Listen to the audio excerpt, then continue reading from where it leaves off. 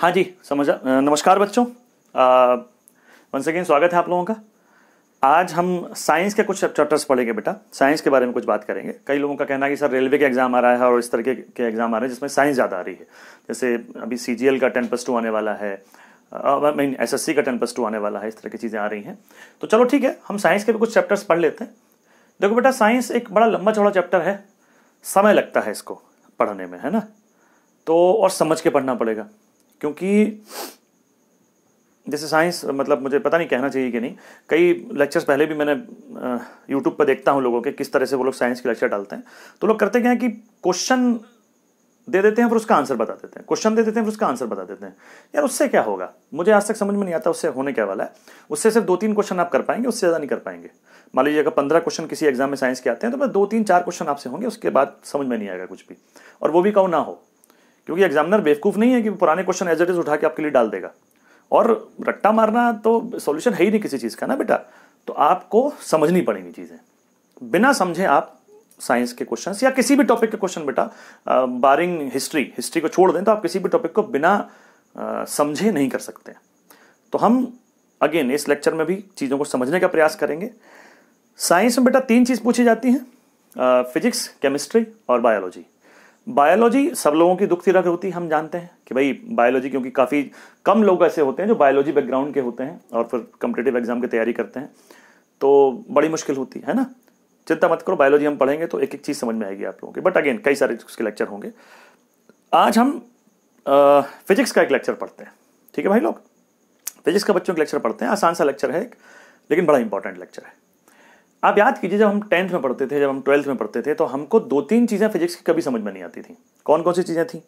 हमको कभी वेव समझ में नहीं आता था। तरंग कभी समझ में नहीं आती थी कि भाई तरंग क्या होता है वेवलेंथ क्या है एम्पलीट्यूड क्या है, किसका किसमें क्या रिलेशन है एन प्रपोज को इन्वर्सली प्रोपोर्शनेट कर दिया वन ओपन टी से, लेकिन वो है क्या? हमें कुछ समझ में आता नहीं था। और नहीं समझ में आया तो रट्टा मार लो। ये करते थे हम लोग। क्योंकि भैया एग्ज़ाम में लिख कर आना है नंबर चाहिए। इसी प्रकार से टेम्परेचर हीट कुछ समझ में नहीं आता था। रट्टा मार लेते थे। इसी प्रकार से लाइट ऑप्टिक्स कौन सी लेंस में कौन सी लाइट किरे, ऐसे आ रही है, क्यों, ऐसी क्यों जा रही है, ऐसे क्यों नहीं जा रही है, क्यों प्रतिबिंब कहाँ बन रहा है, कौन सा इमेज कहाँ बन रही है, कौन सी रियल इमेज है, कौन सी वर्चुअल वर्चुअल इमेज है, कुछ समझ में नहीं आता था। पर हम करते क्या थे, हम दिमाग में रखते थे, भैया, इसको ऐसे बनाना है, इसको ऐसे बनाना है, बस, ऐसे करना है। और कराते थे। बेटा, यहाँ पर उससे काम नहीं चलेगा। कम्पिटेटिव एग्ज़ाम में आपको चीज़ें जब तक समझ में नहीं आएँगी, तब तब तक आपका सिलेक्शन नहीं होने वाला है। ठीक है बेटा आप लोग? तो हम फिजिक्स का बड़ा ही इंटरेस्टिंग टॉपिक शुरू करेंगे, जो आज से पहले आपको सच समझ में नहीं आता था आप समझ में आएगा। उस टॉपिक का नाम है, आज हम एक टॉपिक शुरू करते हैं दैट इज़ तरंग। तरंग या वेव ठीक है बेटा? तरंग या वेव नाउ तरंग किसे कहते हैं तरंग? व्हाट इज़ तरंग? आज एक यंग लड़का आपको पढ़ा रहा है टी शर्ट पहन करके? पहली बार मेरे ख्याल से टी शर्ट पहन के पढ़ा रहा हूँ मैं, है? कोई खास कारण नहीं है, कोई शर्ट प्रेस नहीं थी, या तो ये पहन लिया, ठीक? चलिए वेव क्या है? एक डेफिनेशन लिखते हैं, जो आपने लिखते चले आए, एक डेफिनेशन लिखते हैं, फिर उसके आगे हम पढ़ाते हैं उस चीज़ को। एक डेफिनेशन लिखिए जब ऊर्जा का स्थानांतरण होता है, परंतु द्रव्यमान का स्थानांतरण नहीं होता जब ऊर्जा का स्थानांतरण होता है, परंतु द्रव्यमान का स्थानांतरण नहीं होता। When there is a transfer of energy without transferring the medium when there is a transfer of energy without transferring the medium मतलब क्या हुआ इस बात का? मैंने आपको बोला, तरंग उसे कहते हैं जब ऊर्जा का स्थानांतरण होता है। एनर्जी पहले यहाँ थी। मतलब मान लीजिए कि मैंने कोई चीज़ यहाँ पर रखी हुई थी और इसमें मैंने ज़ोर से धक्का मारा, ज़ोर से इसमें लात मारी मैंने, और ये चीज़ यहाँ से भाग करके यहाँ पहुँच गई। ठीक है? तो आप कहेंगे, सर एनर्जी का ट्रांसफ़र तो हो गया। जो कैनेटिक एनर्जी इसमें थी, वो कैनेटिक एनर्जी या गतिज ऊर्जा, स्थिति ऊर्जा, जो भी ऊर्जा की आप बात करें प्रेशर ऊर्जा, जो भी बात करें, वो सब एनर्जी यहाँ से यहाँ चलेगी। तो क्या ये तरंग हुआ बेटा? आंसर इज़ नो ये तरंग नहीं हुआ। क्योंकि तरंग की डेफिनेशन क्या लिखी आपने? कि जब एनर्जी का ट्रांसफ़र तो हो जाता है, लेकिन मास का ट्रांसफ़र नहीं होता, भाइयों। ठीक है? तो ये एनर्जी नहीं है, क्योंकि इसमें मास भी ट्रांसफ़र हो गया। है ना जी? लेकिन मैं अगर दूसरा एग्ज़ाम्पल आपको बताऊँ, इसमें से जैसे मान लो, मैं थोड़ा सा चेंज कर देता हूँ। मैं एक ऐसा सिस्टम बनाता हूँ कि छोटी छोटी जो स्प्रिंग होती है ना, आपने देखा होगा कहीं खिलौनों में, इसको देखा होगा बच्चों के छोटी छोटी स्प्रिंग और उसके ऊपर कुछ एक एक बड़ा सा एक गोल सा ही लगा देता हूँ। ठीक है? ऐसे करके लगा देते हैं। अब ध्यान दीजिए, मैं इसको ऐसे खींचूँगा स्प्रिंग को, और छोड़ दूँगा टक्क से। अब ये कैसे जाएगा? ऐसे जाएगा, इससे टकराएगा और ये अपनी एनर्जी इसको देगा, ये एनर्जी इसको देगा, ये इसको देगा इसको देगा इसको देगा और एनर्जी यहाँ की एनर्जी धीरे धीरे एंड तक पहुंचेगी। पहुंचेगी कि नहीं पहुंचेगी? तो बेटा यहाँ पर एनर्जी का का ट्रांसफ़र हो गया? Answer is yes energy transfer हो गया। लेकिन क्या यहाँ पर द्रव्यमान या मास का स्थानांतरण हुआ है? आंसर इज़ नो तो द्रव्यमान वही की वही है, लेकिन स्थानांतरण तो एनर्जी का हो गया। तो ये तरंग हो गई सर ये वेव हो गई। जैसे मैं एक और एग्जांपल लूँगी भाई, जैसे मैं रस्सी का एग्ज़ाम्पल लेते हैं। रस्सी मैंने ऐसे बाँध दी है है ना? और इसको रस्सी को मैंने ऐसे लिया और ऐसे ऐसे करके दिखाया तो आपको दूर से देखने वाले को लगेगा कुछ आगे जा रहा है बट एक्चुअली कुछ आगे जा रहा है, कुछ आगे नहीं जा रहा है। एनर्जी जो मैंने यहाँ पैदा की थी, वो एनर्जी ही उस रस्सी के ऊपर ट्रेवल करके वहाँ तक पहुँच रही है, लेकिन रस्सी कहीं नहीं पहुँच रही। वो तो यही है। तो रस्सी में क्या वेव पैदा हो रही है? आंसर इज़ यस रस्सी में वेव पैदा हो रही है। देखिए, मैं वोट डाल कर आया हूँ, आप भी डाल के आइएगा, ठीक है? देश के लिए, जिस, चाहे जिस पार्टी को डालिए। ओके तो ये वेव हो गई, ठीक है भाई लोग? अच्छा अब वेव के थोड़े से करेक्टर्स की बात करने से पहले, हम वेव के प्रकार की बात, पहले हल्की हल्की बातें करते हैं हल्की फुल्की बातें, आसान बातें सिंपल बातें करने की कोशिश करते हैं। तो बेटा, जो वेव होती है, कितने प्रकार की होती है? देखिए, मुझसे अगर कहा जाए कि सर, ये सौ बच्चे क्लास में बैठे हैं, सौ बच्चों को आप दो अलग अलग कैटेगरी में बांट दो तो मैं कैसे बांट सकता हूँ मैं कहूँगा सर ऐसा है कि लंबे लोग इधर बैठ जाएँ गोरे लोग इधर बैठ जाएँ लंबे सॉरी लंबे इधर बैठ जाएँ छोटे इधर बैठ जाएँ मैं कहूँगा सर काले इधर बैठ जाएँ गोरे इधर बैठ जाएँ मैं कहूँगा सर लड़के इधर बैठ जाएँ लड़की इधर बैठ जाएँ जीन्स वाले इधर बैठ जाएँ बिना जीन्स वाले इधर बैठ जाएँ कह सकता हूँ कि नहीं तो कई सारे आधारों पर मैं इनको बांट सकता हूँ और एक एक बेस पर बांटी गई चीज़ों को दूसरी बेस से आप कंपेरिजन नहीं कर सकते समझ रहे हैं इस बात को? इसी प्रकार से दो बेसिस पर मैं वेव को बांटता हूँ बेटा। तरंग को बांटने के भी दो आधार हैं। एक आधार तो यह है कि तरंग चलती कहाँ है? मतलब वो चल रही है जिस मीडियम में, जिस माध्यम में, वो माध्यम क्या है? ठीक है? तो एक तो होता है माध्यम या मीडियम क्या था? On the basis of the medium दूसरा होता है वो चलती कैसे है? तो संचरण, तरंग के संचरण के आधार पर या ट्रांसफ़र, वो यहाँ से वहाँ जाती कैसे है? तो मीडियम के अनुसार अगर हम बात करें बेटा तो मीडियम के अनुसार एक्चुअली दो प्रकार की होती हैं। पहले मैं लिख दे रहा हूँ, एक एक करके आप बना लेंगे इसको। ऐसे ही बनाइएगा जैसे बना रहा हूँ मैं। एक होती है बेटा यांत्रिक तरंग, और एक होती है अयांत्रिक तरंग। इसको कहते हैं, इसको कहते हैं मैकेनिकल वेव और इसको कहते हैं नॉन मैकेनिकल वेव इन दोनों में क्या डिफरेंस है भाई लोग? देखिए, यांत्रिक तरंग जो होती है, वो उसको चलने के लिए किसी ना किसी मीडियम की ज़रूरत होती है। इसमें लिख लीजिए आप, यांत्रिक तरंग के नीचे यहाँ लिख लीजिए। जब तरंग को चलने के लिए किसी माध्यम की आवश्यकता होती है when the wave requires a medium to travel जब तरंग को चलने के लिए किसी माध्यम की आवश्यकता होती है when a wave requires a medium to travel जैसे मैं आपको एग्ज़ाम्पल दूँ कि भाई,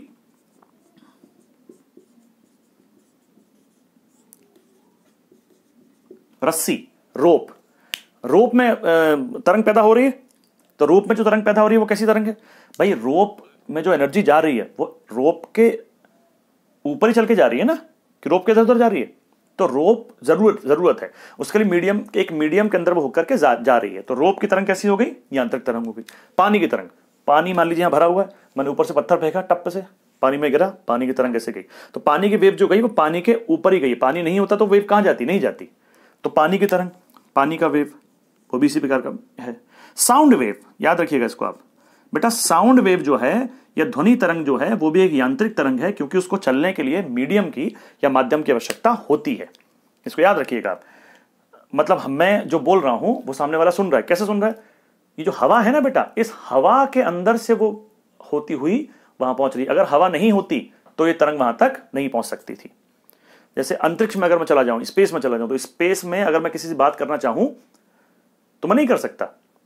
क्योंकि आवाज़ को चलने के लिए मीडियम की आवश्यकता है, और वहाँ हवा ही नहीं तो मीडियम वहाँ पर है ही नहीं। तो इसलिए वहाँ पर रेडियो वेव के माध्यम से बात होती है, ऐसे बात वहाँ नहीं हो सकती है।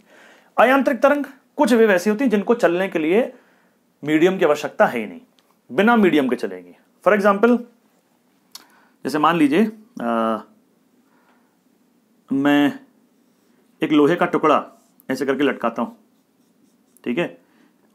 और उसे पूरी तरह से एक लकड़ी के बक्से में पूरी तरह से बंद कर देता हूँ। बिल्कुल पैक कर देता हूँ। और बाहर में एक मैग्नेट लगाता हूँ, एक चुंबक लगाता हूँ। तो क्या ये चुंबक इसको खींचेगी? बिल्कुल खींचेगी सर। हमने बचपन में गेम, वो गेम भी खेला है कि भाई एक अपने पेपर लिया, पेपर के ऊपर एक सिक्का रख दिया और नीचे मैग्नेट लगा दी चुंबक लगा दी और चुंबक को घुमा रहे हैं। और सिक्का घूम रहा है। जबकि जो जो मीडियम है वो तो ब्रेक हो गया है। दोनों के बीच में कोई मीडियम नहीं है बेटा। कोई माध्यम नहीं है, तब भी वो तरंग आपस में चल रही है। तो इसमें लिख लीजिए आप, आयांतरिक तरंग लिख लीजिए। जब तरंग को चलने के लिए किसी माध्यम की आवश्यकता नहीं होती। When wave does not require a medium to travel जब तरंग को चलने के लिए किसी माध्यम की आवश्यकता नहीं होती। एग्ज़ाम्पल आप इसको लिख लीजिएगा।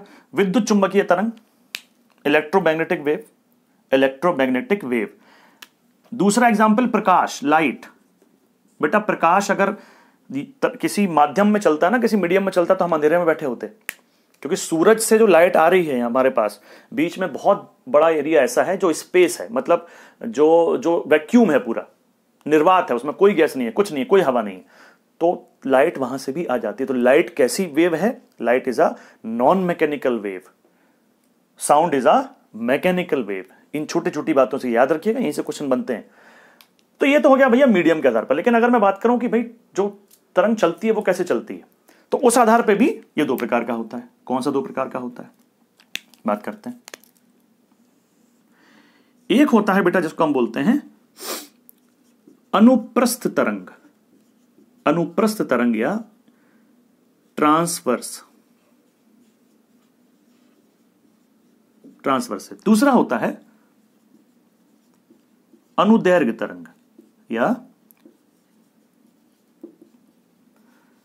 लॉन्गिट्यूडनल वेव अनुदैर्घ्य तरंग या लॉन्गिट्यूडनल वेव अनुप्रस्थ या ट्रांसफर्स अनुदैर्घ्य या लॉन्गिट्यूडनल पहले एक एक लाइन इसके लिखिए फिर मैं बताता हूँ अनुप्रस्थ के नीचे इसके बारे में लिखिए अनुप्रस्थ क्या होता है लिखिए जब कंपन की दिशा तरंग के चलने की दिशा के लंबवत होती है हिंदी में लिख लीजिए पहले जब कंपन की दिशा कंपन वाइब्रेशन क्या होता है अभी पाँच मिनट दीजिए मुझे अभी समझाता हूँ आपको जब कंपन की दिशा तरंग के चलने की दिशा के लंबवत होती है तो उसे अनुप्रस्थ तरंग कहते हैं। Then when the the the wave travels perpendicular to the direction of vibration when the wave travel perpendicular to the direction of vibration अब परपेंडिकुलर या लंबवत का मतलब क्या होता है बेटा? लंब मतलब कितने डिग्री का कोण होता है? 90 डिग्री का। 90 डिग्री का कोण होता है ना? आप जानते हैं इस बात को।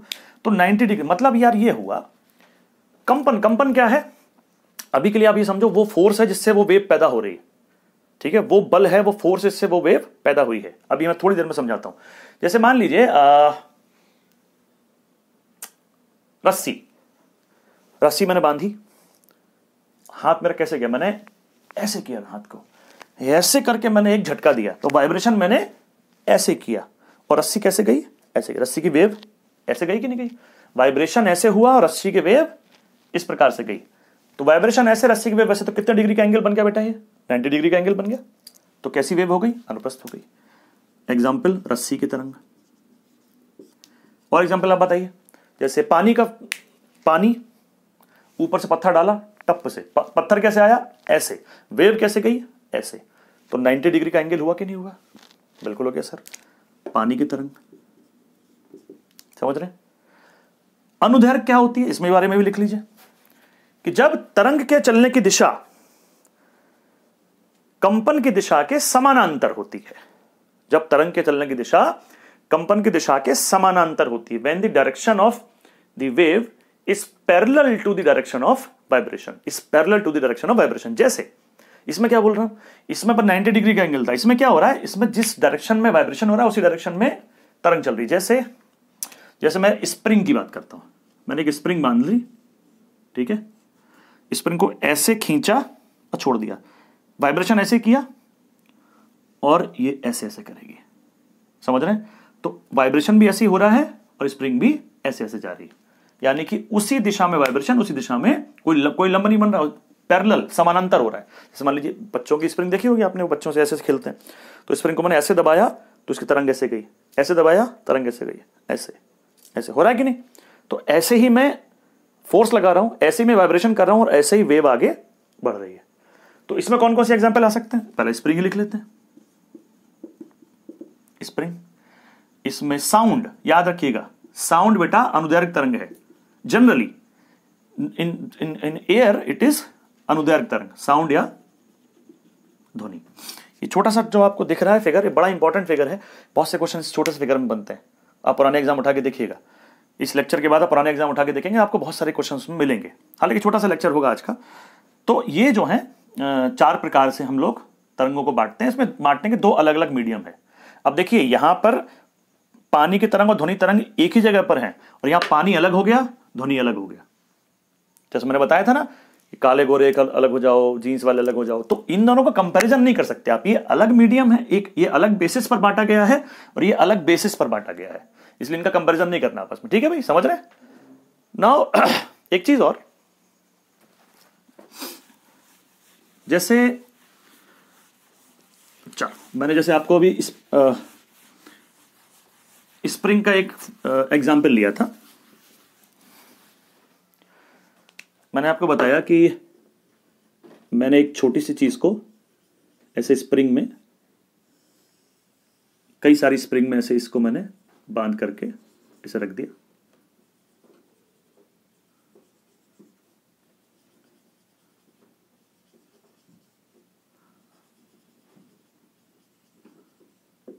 ठीक है?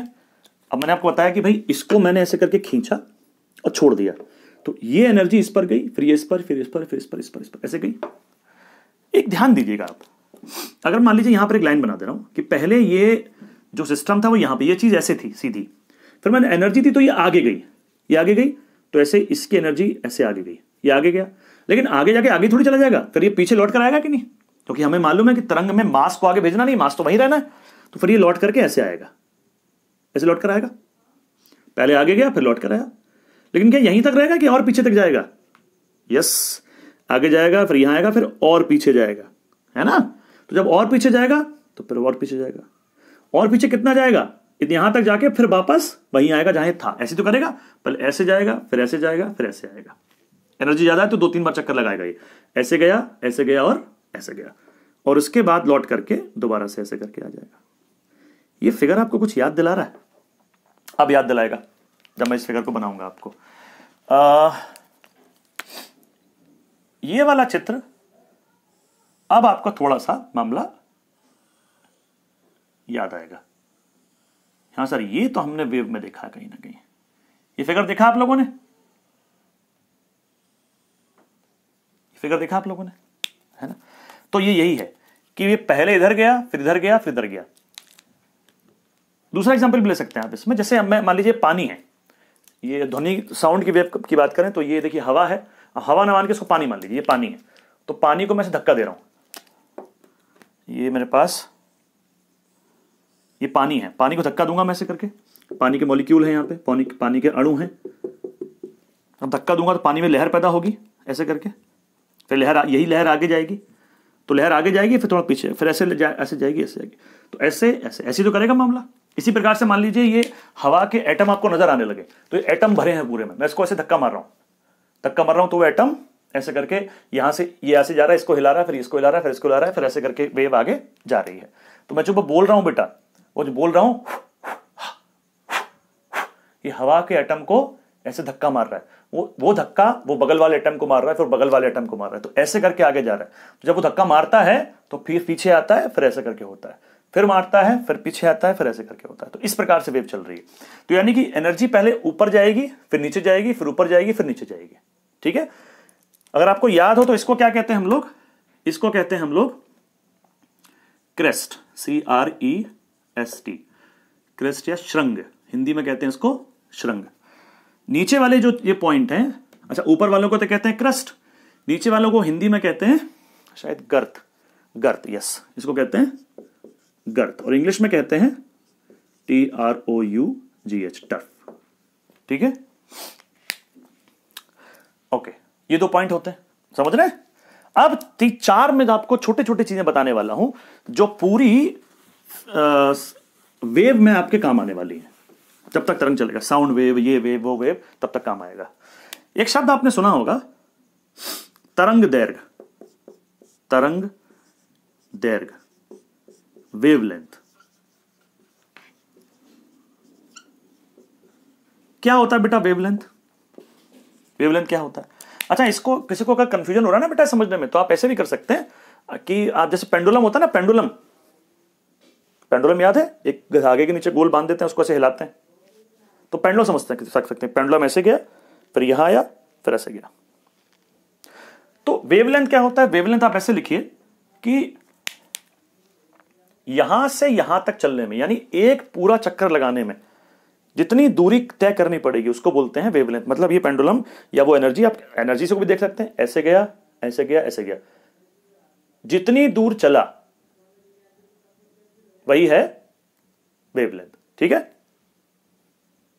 समझ रहे तो यानी कि मैं ये कह सकता हूँ कि तरंग की तरंग होती है यहाँ से लेकर और यहाँ तक। ये दोनों पॉइंट आप कह सकते हैं। तो आप लिख लीजिए the distance covered to complete one vibration लिख लीजिए the distance covered to complete one vibration एक कंपन में तय की गई दूरी। क्या कहलाती है? तरंग दर कहलाती है, ठीक है? यहाँ से लेकर यहाँ तक की। अब इसको यह भी याद रखना है कि आपको अगर दो क्रेस्ट के बीच की दूरी हम पता करें, या दो टर्फ या गर्त के बीच की दूरी पता करें तो ये दोनों भी इसी के बराबर हैं। तो दो गर्तों के बीच की दूरी, ये भी तरंग दैर्घ्य है। दो क्रस्ट या श्रंग के बीच की दूरी दिस इज़ ऑल्सो वेवलेंथ और यहाँ से लेकर यहाँ तक की दूरी भी वेवलेंथ होती है। समझ में आ रहा है आपको? याद रखिएगा, बड़ी इंपॉर्टेंट बातें बता रहा हूँ आपको मैं। एक तो ये बात हो गई। अच्छा इस फिगर को बना लीजिए आप। पॉज करके फटाफट। अब मैं दूसरा फिगर आपको समझाता हूँ। दूसरा फिगर मैं अगर आपको समझाऊं तो एक अगला शब्द है एक अगला शब्द है बेटा, जिसको हम बोलते हैं आयाम एम्पलीट्यूड अगला हेडिंग डालिए एम्पलीट्यूड आयाम। एम्पलीट्यूड सुना होगा आप लोगों ने? आयाम, क्या होता आयाम?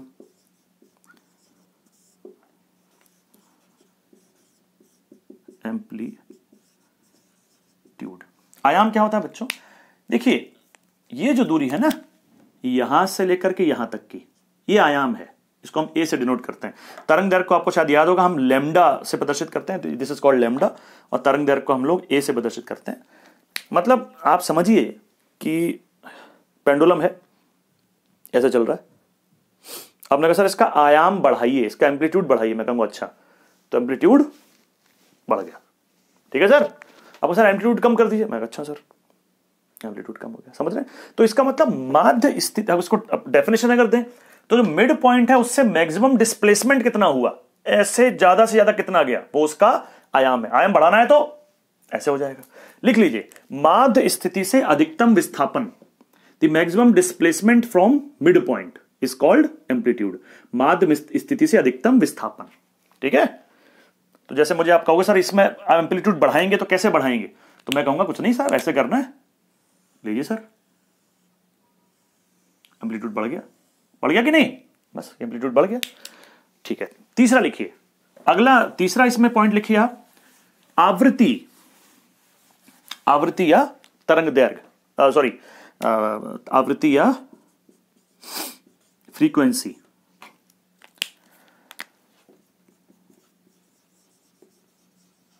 फ्रीक्वेंसी क्या होता है बेटा?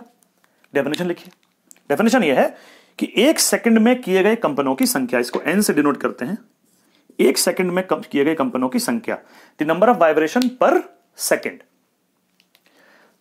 सामान्य भाषा में समझे। तो मैं ऐसे कर रहा हूँ। वाइब्रेशन हमने कहा, सर वाइब्रेशन बढ़ाओ। मैं अच्छा। वाइब्रेशन बढ़ गई। वाइब्रेशन और बढ़ाओ। और बढ़ गई। यानी नंबर ऑफ़ वाइब्रेशन ज़्यादा होने चाहिए पर यूनिट टाइम में, पर समय में, पर सेकंड में नंबर ऑफ़ वाइब्रेशन जितने ज़्यादा है आवृत्ति उतनी ही ज़्यादा है, ठीक है? इसका मात्रक होता है, कई बार एग्ज़ाम में पूछा गया है हर्ड्स इसको लिख लीजिएगा कि इसका मात्रक हर्ड्स होता है। द यूनिट ऑफ़ आवृत्ति इज़ हर्ड्स ठीक है? साउंड में पढ़ेंगे तो ये सब चीज़ों को दोबारा से लेकर हम आएँगे। नेक्स्ट पॉइंट एक और पॉइंट होता है बेटा जिसको बोलते हैं हम आवर्त काल आवर्त काल। टाइम पीरियड आवर्त काल या टाइम पीरियड इसको टी से डिनोट करते हैं हम लोग। टाइम पीरियड क्या होता है बच्चों? टाइम पीरियड होता है एक, लिखिए, एक कंपन को पूरा करने में लिया गया समय। टाइम पीरियड में लिखिए, एक कंपन को पूरा करने में लिया गया समय। The time taken to complete one vibration time taken to complete one vibration और आपको यह भी याद रखना है कि ये जो आवृत्ति है आवर्त काल की व्युत्क्रमानुपाती होती है इनवर्सली प्रोपोर्शनेट होती है। मैं समझाता हूँ कैसे होती है। आपको यह भी याद रखना है कि आवृत्ति या frequency is inversely proportionate to one upon T मतलब आवृत्ति आवर्त काल के व्युत्क्रमानुपाती होती है। इंग्लिश वाले लिख लीजिएगा इसको। आवृत्ति मतलब फ्रीक्वेंसी आवर्त काल मतलब टाइम पीरियड अच्छा ये व्युत्क्रमानुपाती समझ में आता है ना आपको? इसका मतलब ये होता है, बेटा, अगर ये ज़्यादा हो जाएगा तो ये कम हो जाएगा और ये ज़्यादा हो जाएगा तो ये कम हो जाएगा। दोनों एक साथ नहीं बढ़ेंगे। देखो, आप इसको ऐसे समझ सकते हैं। फ्रीक्वेंसी मैंने आपको बोला कि भाई पाँच सेकंड में बीस बार कंपन किया। ठीक है? स्थिति नंबर एक, ये एक स्थिति है। स्थिति नंबर दो, सिचुएशन नंबर दो। मैंने बोला पाँच सेकंड में पच्चीस बार कंपन किया। अब जरा देखते हैं क्या क्या कितना कितना हुआ। यहाँ पर बेटा हम बात करें अगर तो यहाँ पर एन कितना हो जाएगा? कितनी बार कंपन किया? पाँच सेकंड में बीस बार, यानी एक सेकंड में कितनी बार किया? बीस बटे पाँच। तो आंसर कितना आया? चार। तो यहाँ आवृत्ति कितनी हो गई? चार हो गई। फ्रीक्वेंसी चार हो गई। फ्रीक्वेंसी की डेफिनेशन यही थी ना। एक सेकंड में कितने कंपन करते हैं? अच्छा यहाँ पर टी कितना हो जाएगा? टाइम पीरियड कितना हुआ? टाइम पीरियड क्या है कि एक सेकंड में किए गए एक कंपन में कितना समय लिया? तो टाइम मतलब पाँच सेकंड में होते हैं बीस कंपन। तो एक कंपन कितनी देर में होगा? बीस बटे सॉरी पाँच बटे बीस। तो पाँच बटे बीस तो आंसर कितना आ जाएगा?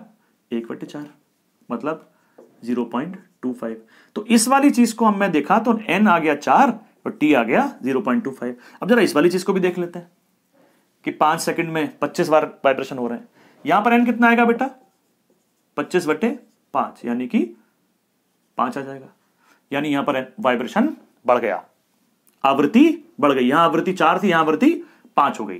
टी पर देखते हैं क्या प्रभाव पड़ा। टी कैसे निकालेंगे पाँच बटे पच्चीस, यानी एक बटे पाँच, यानी ज़ीरो पॉइंट टू ज़ीरो ऐसी तो आएगा। तो मैंने देखा यार कि जब आवृत्ति तो बढ़ गई, लेकिन आवर्त काल या टाइम पीरियड कम हो गया। तो जब भी आवृत्ति बढ़ेगी तो आवर्तकाल कम होगा, और आवर्तकाल बढ़ेगा तो आवृत्ति आवर्तकाल बढ़ेगा तो आवृत्ति कम होगी। ठीक है? तो दोनों इनवर्सली प्रोपोर्शनेट है, इसको याद रखिएगा। दोनों हिंदी में कहते हैं व्युत क्रमानुपाती हैं। तो इसको दोनों को चीज़ों को आप याद रखिएगा। अगर डाउट हो ना तो हो सकता है आपको लगे कि मैं जल्दी जल्दी वीडियो बना रहा हूँ। उसका रीजन है, बेटा, अभी एक लंबा सा वीडियो बनाया था मैंने, खराब हो गया वो। तो एनर्जी थोड़ी एडजस्टेड हो जाती है उससे। चलो, कोई नहीं। बट आई होप समझ में आ रहा होगा आप लोगों को। दूसरी बात अच्छा ये चीज़ और समझ लीजिए। अगर मैं आपसे कहूँ कि, सर, ये जो तरंग दैर्घ्य है और आवृत्ति है। इसमें कोई रिलेशन है क्या? बिल्कुल रिलेशन है सर तरंग दैर्घ्य या वेवलेंथ क्या है? यहाँ से यहाँ तक की दूरी। यही तो है, यहाँ से लेकर यहाँ तक की दूरी। वेवलेंथ है। और आवृत्ति क्या है? एक सेकंड में किए गए कंपनों की संख्या है। एक सेकंड में कितनी बार वाइब्रेशन हुए। तो मान लेते हैं यहाँ पर एक सेकंड पूरा हो रहा है, या दो सेकंड पूरा हो रहा है। कोई भी टाइम आप ले लीजिए। आप मुझसे कहेंगे, सर, इसका जरा आप एक काम कीजिए, सर, इसका आवृत्ति बढ़ा दीजिए। इसका फ्रीक्वेंसी बढ़ा दीजिए। तो मैं एक फिगर कैसे बनाऊँगा बेटा? मैं फिगर ऐसे बनाऊँगा ना ये। फिर मैं फिगर, क्योंकि यहाँ तक कंप्लीट एक हुआ था तो मुझे इस समय में ज़्यादा ज़्यादा बार वाइब्रेशन करना है।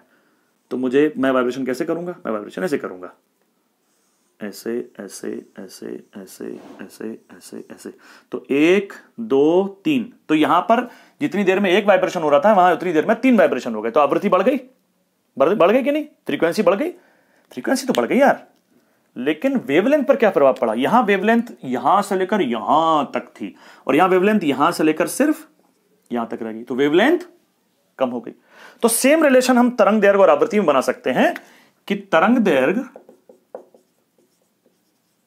भी व्युत्क्रमानुपाती होती है आवृत्ति के।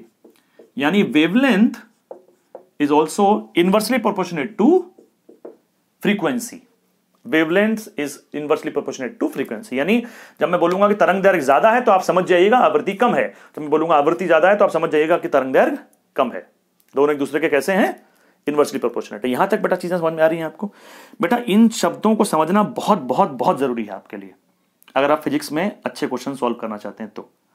और इन्हीं शब्दों को लेकर के अब हम सारी वेव के आने वाले एक दो लेक्चरों पर बात करेंगे। ठीक है? तो यह छोटा सा लेक्चर बनाया इसको अभी खत्म करता हूँ, फिर मैं अगले लेक्चर में बाकी बात करते हैं। नमस्कार।